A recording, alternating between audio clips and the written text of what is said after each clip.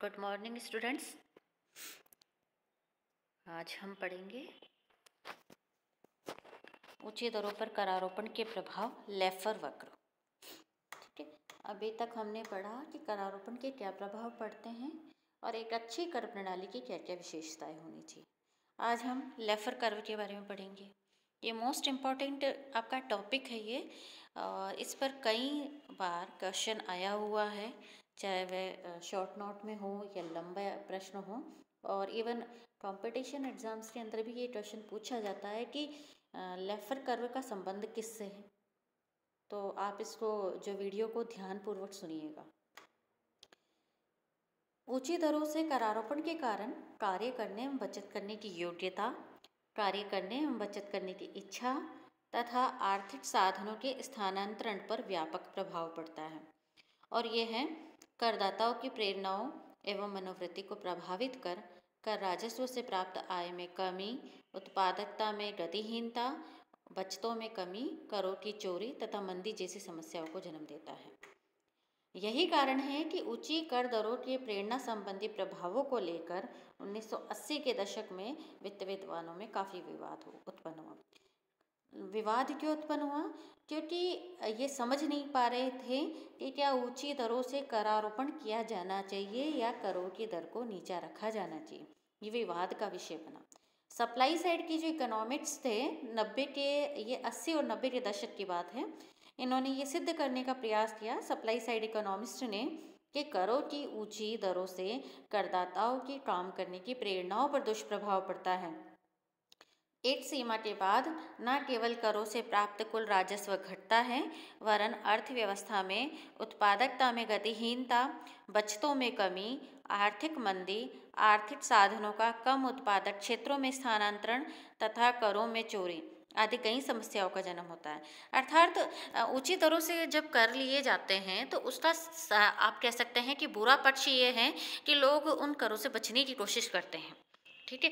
और जब ऊँची दरों से आप कर लेंगे तो ये कहीं ना कहीं लोगों की जो मनोवृत्ति है उसके ऊपर बुरा प्रभाव डालता है। साथ में व्यापारियों के ऊपर भी ये नेगेटिव इसका इम्पैक्ट जाता है कि वह अपने व्यापार में रिस्क ना रिस्क ना लें।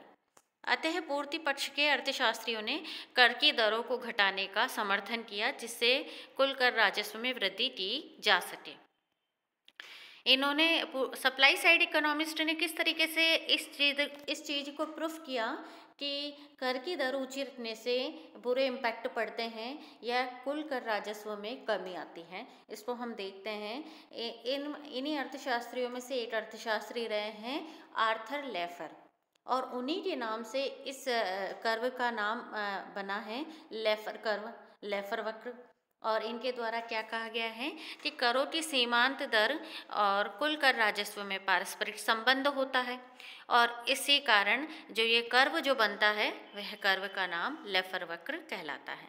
लेफर वक्र द्वारा ऊँची कर दरों एवं कुल कर राजस्व के संबंध को हम डायग्राम के थ्रू समझ सकते हैं। आप यहाँ डायग्राम देखिए, ओ एक्स अक्ष पर अपन कर की दर ले रहे हैं, जिसको प्रतिशत में लिया गया है। और ओ वाई अक्ष पर कुल कर राजस्व को लिया गया है।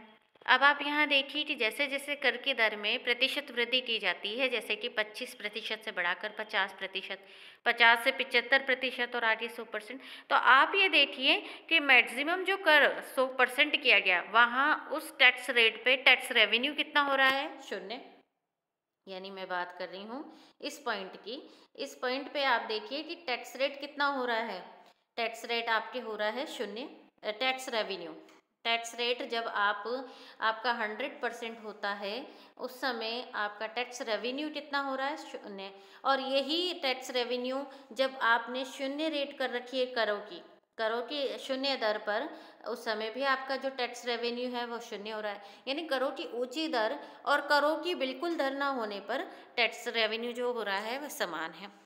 आप इसमें यह भी देखिए कि जैसे जैसे कर की दर बढ़ाई जा रही है, जैसे कि 25 परसेंट, फिर 50 परसेंट तो आप यहाँ देख पा रहे हैं कि कर की दर बढ़ाने से कर राजस्व में वृद्धि हो रही है। आप कर राजस्व कैसे निकालेंगे? कर राजस्व का फॉर्मूला है आप यहाँ पे कर राजस्व इंटू टैक्स रेट ठीक है ना? कर राजस्व इंटू कर दर। तो इससे आपको क्या प्राप्त होगा? इससे आपको कुल कर राजस्व की प्राप्ति हो जाएगी। ठीक है? तो मैं ये कहूँ, आप यहाँ पे ज़ीरो से पच्चीस, ठीक है?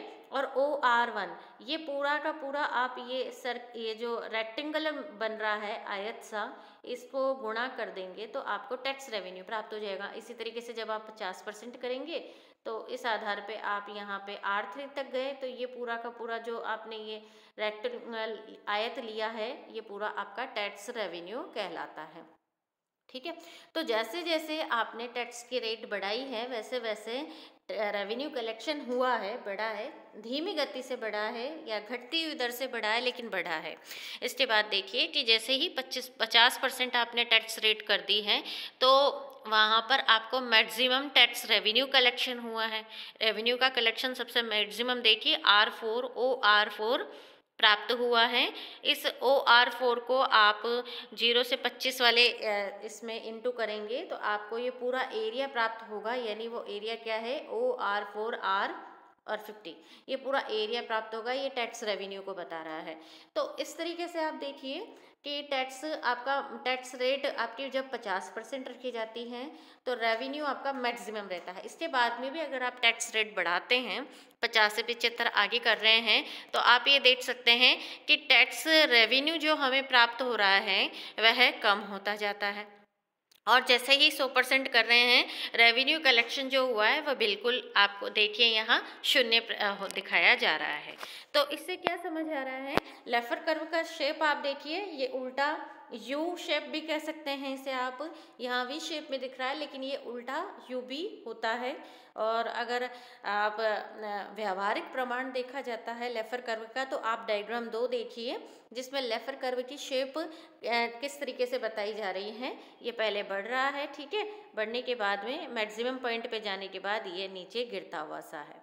तो हम यहाँ क्या समझ पा रहे हैं?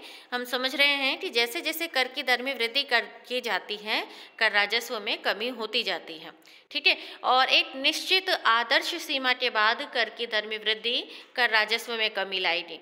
और आदर्श सीमा तक पहुँचने से पूर्व कर की दर में वृद्धि, कर राजस्व में घटती दर से वृद्धि करेगा। यानी मैं कह सकती हूँ कि ज़ीरो से पचास तक में अगर आप टैक्स रेट बढ़ाते हैं तो रेवेन्यू बढ़ता जाता है। लेकिन 50 से 50 के बाद में अगर आप बढ़ाते जाते हैं टैक्स रेट 50 से 100 तो रेवेन्यू कलेक्शन जो है, वह आपका कम होता जाएगा। तो लेफर कर्व किसके बीच में संबंध बता रहा है?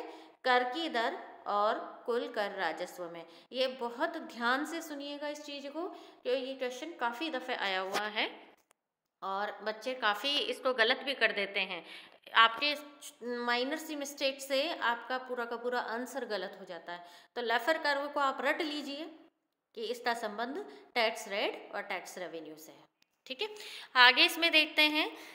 जैसा कि मैं आपको बता ही चुकी हूँ कि अगर एक्चुअल व्यवहारिक रूप से देखा जाए तो इसकी जो शेप है, हमने डायग्राम दो में देख ही लिया है कि किस तरीके से शेप इसकी झड़ती है और आपको ध्यान हो कि अमेरिका के जो राष्ट्रपति रहे हैं रोनाल्ड रेगन उन्होंने अपने कार्यकाल के दौरान टैक्स रेट में कमी करके टैक्स रेवेन्यू बहुत ज़्यादा कलेक्ट किया था। उन्होंने भी यही पद्धति अपनाई थी आ, उस समय और भारत में भी काफ़ी कुछ हद तक ये पद्धति चलती है ताकि हम टैक्स रेवेन्यू ज़्यादा से ज़्यादा कलेक्ट कर सकें।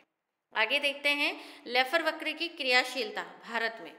लेफर वक्र की अवधारणा चूँकि हमने देख ही ली है कि कर की दरों में कमी करने से कर राजस्व में वृद्धि की जा सकती है।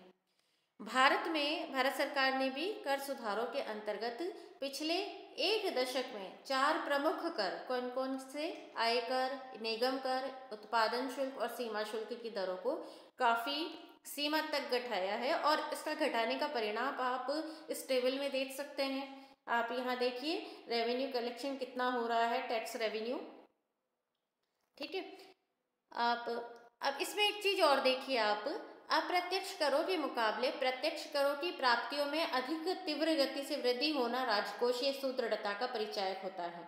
यानी आप प्रत्यक्ष करों से ज़्यादा टैक्स रेवेन्यू कलेक्ट कर पा रहे हो तो ये कहीं ना कहीं आपकी फ़िज़िकल सॉलिडिटी को बता रहा है कि राजकोषीय नीति हमारी सुदृढ़ है या राजकोषीय नीति बहुत अच्छे तरीके से चल पा रही है। भारत में लेफर कर्व की क्रियाशीलता को सकल घरेलू उत्पाद के संदर्भ में कर उत्प्लावता गुणांक से भी प्रमाणित किया जा सकता है। अब आप यहाँ कर उत्प्लावता गुणांक को देख सकते हैं। ये अलग अलग टैक्स टैक्स के संबंध में अलग अलग है। यहाँ पे आप देख सकते हैं। ये इतना खास नहीं है, लेकिन आप इसे एक बार देखिएगा ज़रूर से। करारोपण के अगर, अब आगे हम बात करते हैं करारोपण के सामाजिक प्रभाव। इसमें आप देखिए इससे सामाजिक समानता सामाजिक समानता स्थापित करने में मदद मिलती है। जब हम प्रगतिशील करारोपण करते हैं तो चूँकि आप धनवान व्यक्ति से अधिक टैक्स ले पाते हैं और निर्धन व्यक्ति से कम टैक्स लेते हैं या उसे टैक्स से एग्जम्प्ट करते रखते हैं या फ्री करते हैं टैक्स से तो इससे कहीं ना कहीं समाज में समानता आती है। नेक्स्ट है सामाजिक न्याय। जब करारोपण से आप विषमता को दूर करते हैं यानी कि जब आप टैक्स लेते हैं, धनवान व्यक्ति से टैक्स लेते हैं और उस टैक्स का उपयोग निर्धन व्यक्तियों के हितों के लिए करते हैं तो इससे कहीं ना कहीं सोशल जस्टिस की प्राप्ति भी होती है। आगे, सामाजिक प्रगति को भी बढ़ावा मिलता है। करारोपण से चूँकि जब सामाजिक समानता आती है, सामाजिक न्याय आती है, न्याय आता है तो अवसरों की समानता आती है, वर्ग संघर्ष का समापन होता है और आर्थिक समानता सामाजिक समानता को या सामाजिक प्रगति को बढ़ावा देती है और समाज के सभी वर्गों का उत्थान होता है। समाज का नैतिक उत्थान जब आप देखिए अनैतिक या अवांछनीय चीज़ों में आप टैक्स ज़्यादा लगाते हैं। जैसा कि मान लीजिए, शराब के ऊपर आपने टैक्स रेट ज़्यादा कर दी है तो शराब का प्रोडक्शन कम होगा और शराब के उत्पादन में लगे हुए साधन जब दूसरे साथ दूसरे वस्तुओं के उत्पादन में लगेंगे तो शराब का उत्पादन कम तो हुआ, साथ में दूसरे वस्तुओं का उत्पादन ज़्यादा होगा और वह वस्तुएँ जब कंज्यूमर द्वारा कंजप्शन की जाएगी कंज्यूम की जाएगी तो वह कहीं ना कहीं उनके लिविंग स्टैंडर्ड को बढ़ाएगी। तो ये इस तरीके से मॉरल डेवलपमेंट भी करती है टैक्स स्ट्रक्चर आपका। आगे हम देखते हैं करारोपण के राजनीतिक प्रभाव। करारोपण से राजनीतिक चेतना जागृत होती। है क्यों होती है जागृत? क्योंकि जो व्यक्ति कर देता है, वो ये भी ध्यान में, ये भी ध्यान रखने की कोशिश करता है कि हमारे द्वारा दिए गए टैक्स से गवर्नमेंट क्या क्या कार्य कर रही हैं? क्या वह इसका मिसयूज़ कर रही है? क्या वह इसका वेस्ट कर रही है? या क्या इसका सदुपयोग किया जा रहा है? नेक्स्ट है नैतिक सुरक्षा। करारोपण से सरकार जैसा कि आपको पता ही है कि करारोपण सरकार की आय का प्रमुख स्रोत होता है। करारोपण के अभाव में सरकार के पास में क्या है कि इनकम कम रह जाएगी। अब जब इनकम कम होगी तो वह किस प्रकार से सिक्योरिटी कर पाएँगे? तो डिफेंस करने के लिए भी उनको पैसा चाहिए। और वो पैसा कैसे आएगा? टैक्स के थ्रू आएगा। तो कहीं ना कहीं हमारी सुरक्षा के लिए भी कर दिए जाते हैं। नेक्स्ट है, करारोपण से राजनीतिक स्थायित्व और सुदृढ़ता बढ़ती है। अगर करारोपण किया जाता है तो अर्थव्यवस्था में उत्पादन, वितरण, उपभोग, आर्थिक क्रियाओं में अनुकूल परिवर्तन लाकर सरकार देश में राजनीतिक स्थायित्व और सुदृढ़ता स्थापित कर सकती है। और अगर करारोपण न किया जाए और देश में विषमता बढ़ने, उत्पादन और उपभोग अवांछित दिशा में गतिशील न होने पर राजनीतिक स्थिति बिगड़ने का भय रहता है। नेक्स्ट है राजनीतिक शांति। अगर सरकार जनता की करदान क्षमता से भी अधिक करारोपण करे तो राजनीतिक विरोध बढ़ेगा। सरकार की आलोचना होगी। सत्ताधारी दल को विरोध का सामना करना पड़ेगा, जबकि न्यायोचित कर से देश में शांति व सुरक्षा में वृद्धि होती है। इस प्रकार हम इस निष्कर्ष पे पहुँचते हैं कि करारोपण का उत्पादन, वितरण, उपभोग पर प्रभाव पड़ता है। सरकार की आय का ये मुख्य स्रोत है और इससे न केवल सरकार को रेवेन्यू प्राप्त होता है, अपितु आर्थिक विकास रोज़गार वृद्धि, आर्थिक समानता और स्थायित्व का भी यह एक महत्वपूर्ण स्रोत है। इससे राजनीतिक प्रभाव भी है, सामाजिक प्रभाव भी है, नैतिक प्रभाव भी है करारोपण के। और अगर सही तरीके से टैक्स के, टैक्स स्ट्रक्चर को सुधारा जाए और इसमें हर एक चीज़ का ध्यान रखा जाए तो टैक्स रेवेन्यू भी बहुत अच्छा कलेक्ट कर सक, किया जा सकता है सरकारों के द्वारा। आज का आपका असाइनमेंट है। लेफर वक्र पर आपको एक टिप्पणी लिखनी है, संक्षिप्त। ये टिप्पणी आप पचास से सौ शब्दों में लिख के मुझे किसी भी माध्यम से भेज सकते हैं। आज के लिए इतना ही। धन्यवाद।